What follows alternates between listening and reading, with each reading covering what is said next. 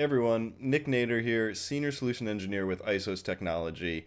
And today we're going to be highlighting one of Atlassian's top functionalities within their cloud platform, Atlassian Intelligence. And of course, they called it that because it is an AI functionality. So let's dive in and check out what Atlassian Intelligence can do across their three major products. Jira, Jira Service Management, and Confluence. Now, Atlassian Intelligence is native to Atlassian's cloud platform, meaning if you're an administrator for your site, you can navigate to the admin page that you see here and essentially enable the AI functionality for all of your various cloud products and start to test out their features, which they tend to beta monthly and update pretty frequently. Now, Atlassian Intelligence is not their only AI tool. They recently acquired Rovo AI as well, which should be hitting GA here in about a month or so, and we'll release a full video on what Rovo is capable as well. Now, the first thing I want to show is here within uh, normal Jira issue filtering. So with Atlassian Intelligence, we don't need to utilize the basic drop-down feature uh, or even the advanced JQL syntax language. We can use natural language to ask it to search for various issues that we're looking for uh, within various projects, in statuses. You can really use natural language to ask it anything and see if it works, and then tweak it and adjust it from there. You'll need to spell things correctly like the values or the fields that you're looking for. Uh, but after you figure that out and type in, uh, in a sentence like, hey, can I see issues assigned to Mitch that are in progress within the platform development project, uh, you should be able to very easily get that JQL syntax line uh, and then search for those issues and get a nice list view like these 13 issues that we see here. So very easy to just, of course, ask it something general and in natural language and then get the full syntax properly spaced, properly quotated, uh, all that good stuff that we struggle with normally as human beings. Um, in, in natural language, it's obviously much, much easier to find that kind of thing. Now, the next thing I want to show you is within uh, Jira's automation engine. And of course, you can do this within any Jira project or Jira Service Management project. And of course, when you utilize the automation engine, you're creating automation rules to automate your various processes uh, across your teams. And of course, you can do that from scratch. You can build that rule with your triggers and conditions and actions uh, each individually, uh, pulling in the components that they have to build with. You can utilize, of course, the templated rules here if it match something that you're trying to do. Uh, but with, of course, Atlassian Intelligence, we can again use natural language to just say, hey, I need to do this this frequently or when this happens uh, based off of these conditions, right? Only if these conditions are met. Now we can say, show me an example and it'll write something up for us. When an issue status is changed to done, then let's transi transition all those linked issues to done as well. You know, anything that's linked to it, of course, will probably be done if we are changing this issue status to done. Now, we can preview that rule so it'll start to build out that trigger and the branching and the conditioning uh, and then this is just a great starting point for us to customize it a little further um, maybe this does everything for us. Maybe we want to transition to a slightly different status um, because done is not our only resolution status or something like that. And of course it's going to ask you hey did this go well? Should we try it again? Build it a little differently? Um, and how is your experience with uh, Atlassian Intelligence building an automation rule for you so it can do things that are basic like this, hey, transition all of my linked issues, or, or, it can do something a little more complex if you ask it to conditionalize those actions a little more, or branch off for different types of issues, uh, or those various more complex rules that you can use within that automation engine. Of course, this is really just a great starting point, and then you'll probably want to customize your rule from there. Now, the next thing I want to show is within Jira Service Management. Uh, so what we're looking at here is an incident with our billing system that is apparently sending duplicate bills to our customers. Uh, now I'm the agent that is handling this incident request. Um, Jennifer is the one that submitted the incident report, uh, and I'm here in the comment stream uh, replying to Jennifer for the first time. So I'm saying, Hi Jennifer, we're working on resolving the issue you described. Do you mind providing a little more information? It's not quite enough for us to go off of, maybe some screenshots or something like that. Thanks, support team. Now, the nice thing is, if I'm not the most eloquent uh, with language, I can type slash AI in here and I can allow Atlassian Intelligence to assist with my writing. So I can say, hey, let's brainstorm a list of ideas. Can we summarize the writing that I wrote? Can we improve it or enhance it, fix spelling or grammar, change the tone to empathetic or professional or casual or educational, or even create a JIRA issue out of the comment that I was writing? Uh, more likely, we would be creating it out of a comment from the customer or something like that. Uh, so we're going to try something like, let's change the tone to be a little more professional, and it'll generate uh, what it thinks is a little bit more professional of a comment here. And then we can say, hey, can you try it again? I can copy and paste this somewhere else. I can insert it below uh, what I have here, or I can just replace it fully.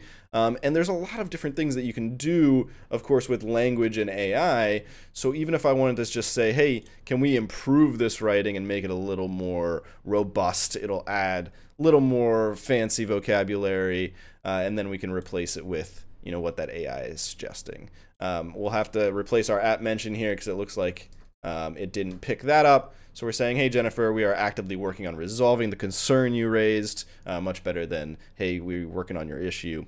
Uh, can you kindly share more information about the particular errors or outcomes experienced by customers?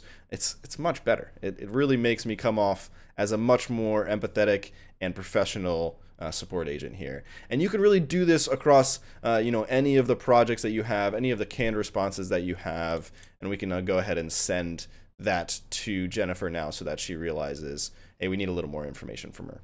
Now, the very cool part here is you can also summarize what's going on with this issue once you have a description from your uh, reporter as well as comments from you and your reporter.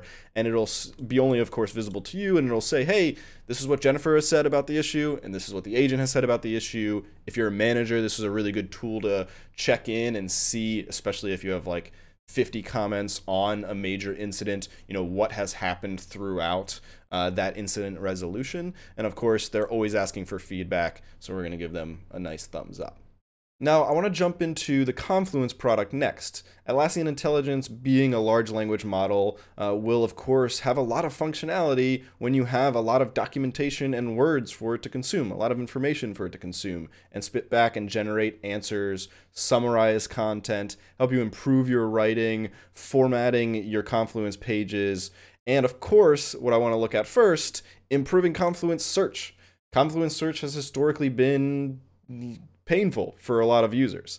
Uh, but with Atlassian Intelligence, uh, it, uh, with still within beta, of course, uh, has a lot better uh, generative responses where it can search content across your entire Confluence platform and give you answers without you even having to go in and read those articles. Now we can look at something uh, like are suggested uh, examples here, like what is the vacation policy, and it will of course give you links to the most relevant articles within your Confluence page, uh, but it's also going to write up uh, an article about, or sorry, a response about what your vacation policy is. So hey, the vacation policy at Isos Technology includes paid leave benefits, sick time, uh, with no impact on vesting of equity awards while receiving pay from the company, right? So it gave me a little bit of information, and it has a source for me to dig in and read more information if I need to. Now we're going to ask it something a little more custom here. Uh, we're going to ask it about uh, our process for documenting eTrace bugs and see what it gives us uh, with that generated content here. Now, of course, it's going to show you very quickly what the search results are, um, but it's also going to generate this full response. And uh, this came from our eTrace bug reporting process document here, um, but it summarized it for me very concisely so that without even digging into our full process document and having to pick out and find uh, what we need to document when we find an eTrace bug, I can just read these five main things that we need to document uh, here in the search functionality, and then be on my way and start documenting this eTrace bug that I found. So a lot easier to find content using natural language, asking questions of the AI, and having it already automatically summarize the content from that document that you're looking for without your human brain having to go in and, and do it itself. The final thing I want to show is within Confluence documentation. So what we can do is a couple things with uh, Atlassian Intelligence within our documentation. If we're viewing a document like we he are here, uh, how to set up our Zoom platform, uh, you'll see up in here in the top right that we can essentially click the summarize button to say, hey, this document is very long. Can you just give me the, the short of it? uh, and it'll very quickly summarize what's within your document, and you can copy that information and say, hey, let, let me slack this to someone who's asking me how to set up Zoom, right? Maybe you're the IT guy and you get this question a thousand times a day. How do i set up zoom? How do i automatically turn my camera off when i join meetings? Um, then you can very easily just grab the summary of all of your process docs and ship it to those uh, employees or coworkers that bother you every single day about it. Now, the other thing you have up here is summarized comments. So if this is, say, a knowledge base article and you have a bunch of customers giving you feedback within the comments on that knowledge base article, you can summarize all of the sentiment and artificial intelligence, Atlassian intelligence will say, hey, this is what the general sentiment is. These are the most popular comments that are upvoted or th thumbs up. So you get some feedback about how that article is written. Now, when you go into the edit version of a document like our how to set up Zoom document here, you can of course utilize Atlassian Intelligence to help your writing.